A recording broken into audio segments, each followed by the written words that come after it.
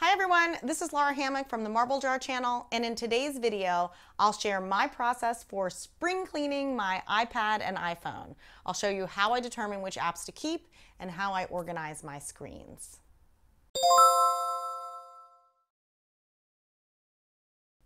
So I try to do about 15 minutes of organizing every weekend just to stay on top of the chaos.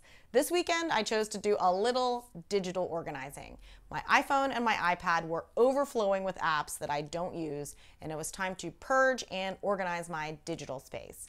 Unfortunately for me, this took much longer than 15 minutes, but this may be a faster process for you.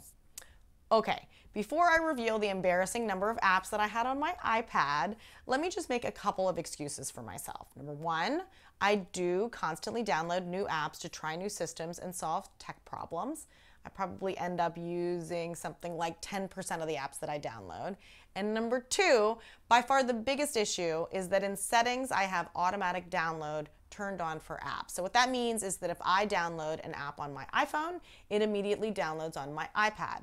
More importantly, since my kids and I all share the same Apple ID, the apps that they put on their phones automatically download to my iPad.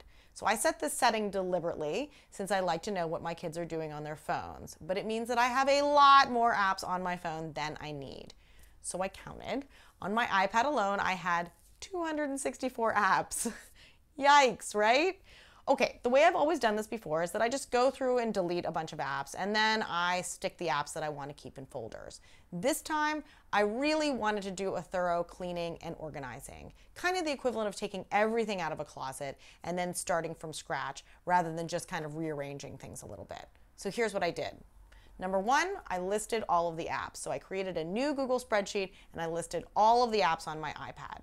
You can do this by going through your iPad folder by folder so I went by the app list in settings, but it really didn't include every app, so going through each folder is probably the best bet. It is so much easier for me to make decisions when I and organize when I have the apps listed out away from my phone. Okay, once I did that, I made some determinations. I tagged each app with one of three designations keep, delete, or question mark.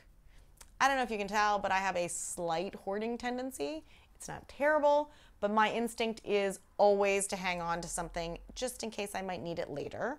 The nice thing about apps is that once an app is deleted, you can always download it again from the cloud if you need to.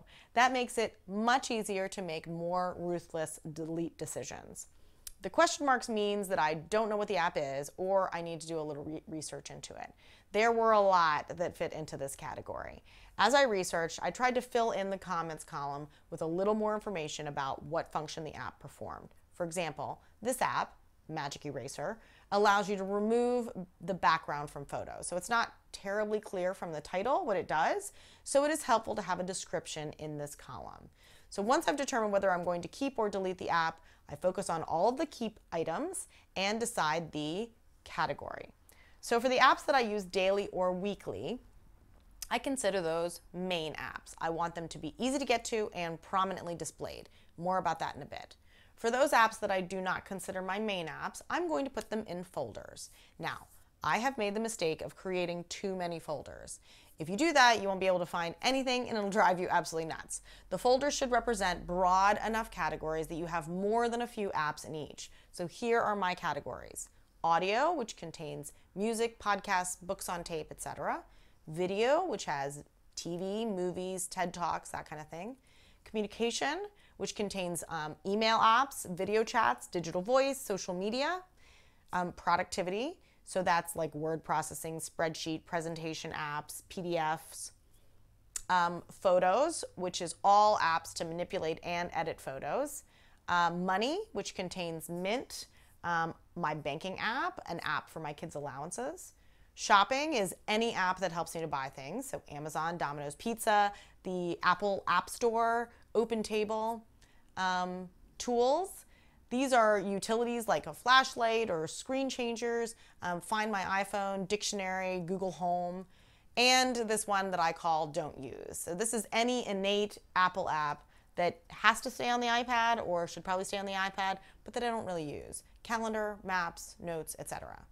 And then some folders that are just totally self explanatory and that I don't need to go into travel, grad school, guitar, YouTube, work, kids school, and news and articles. So once I have everything put into a category, I delete and organize them into folders. So I take my spreadsheet and based on the choices that I've made on the spreadsheet, I delete apps and I pull them into category folders for categories. So now that I have that step done, they are still kind of a mess. So I need to organize.